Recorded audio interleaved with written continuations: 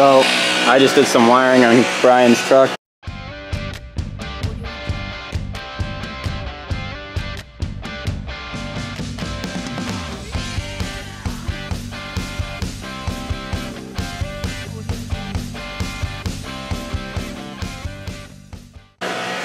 Took out some crimp connect.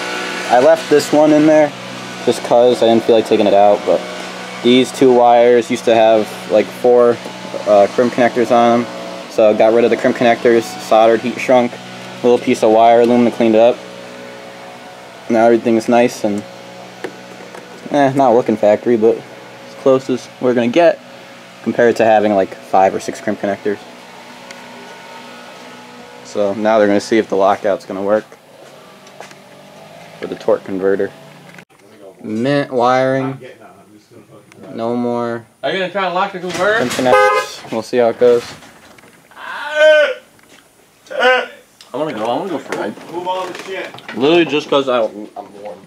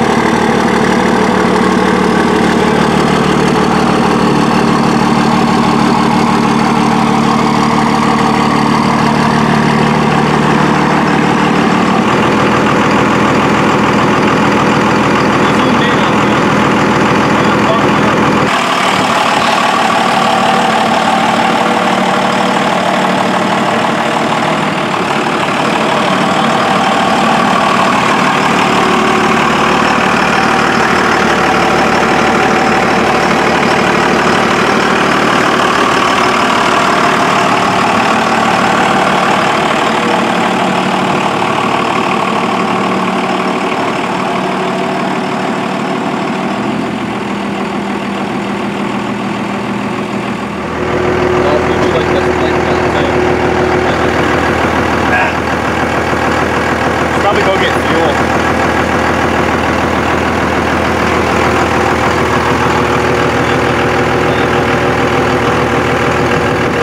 Nah, it's full.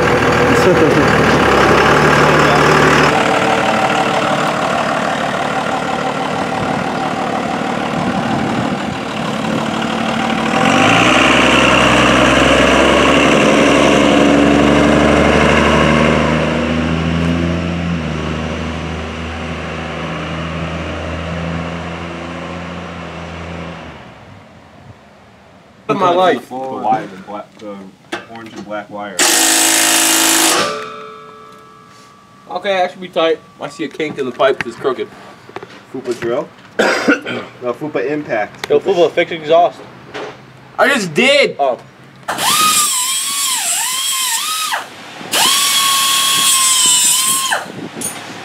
That was easier.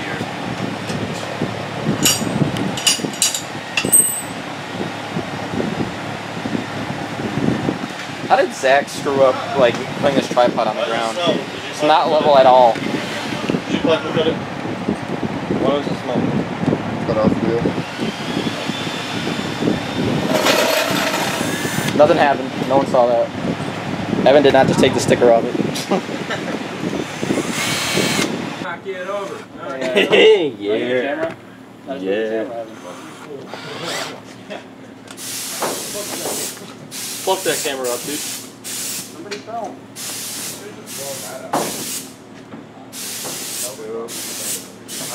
All right, did you do the crack Don't yet? worry, when you go on the jack, strip, just walk them out.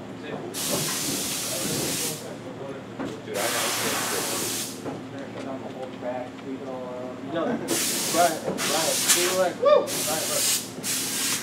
See like cracking, but it's one You know how bad it hurts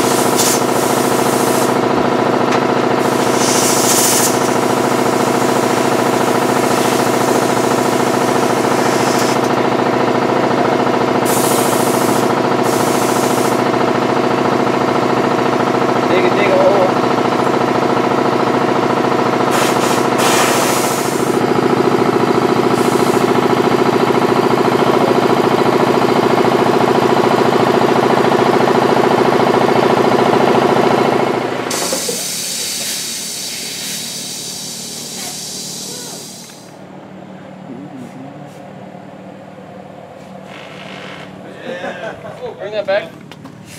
What? Yo, Zach. Bring that back over here